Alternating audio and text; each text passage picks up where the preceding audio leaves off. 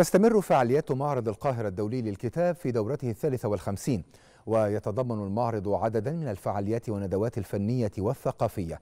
وللمزيد ينضم إلينا مراسل التلفزيون المصري من هناك رامي محمد. أهلا بك رامي يعني ضعنا في أجندة الفعاليات الثقافية لهذا اليوم.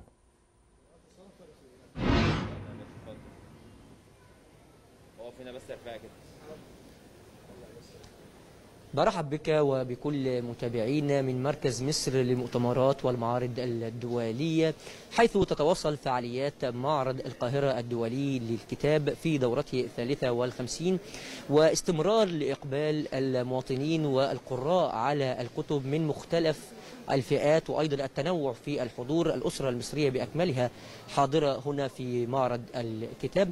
وأيضا هناك عدد من الأنشطة التي أقيمت على مدار اليوم منها ندوة عن شخصية المعرض هذا العام وهي الكاتب الكبير يحيى حقي وبحضور ابنته أيضا الأستاذة نهى حقي. وكان هناك حديث عن كيفية بناء الشخصيات داخل الروايات والكتابات الخاصة بالكاتب الكبير يحيى حقي.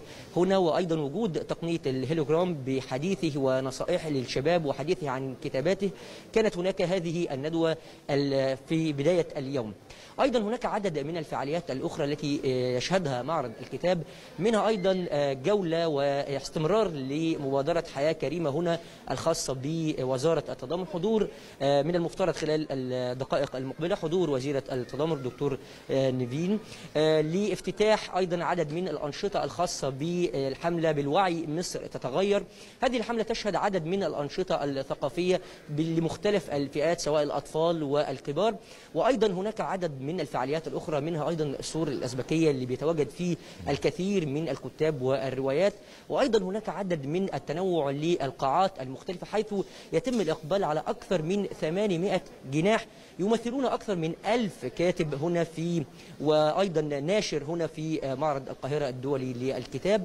هناك أيضا حضور للكتاب الرقمي والإقبال الكبير من الشباب على هذه النوعية وأيضا المتابعة بشكل كبير جدا واستخدام الذكاء الاصطناعي هنا لكافة الحضور.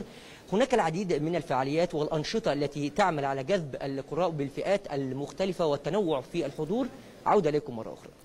رامي محمد من مركز مصر للمؤتمرات والمعارض الدولية حيث تنعقد الدورة الثالثة والخمسون لمعرض القاهرة الدولي للكتاب. شكرا جزيلا على كل هذه المعلومات.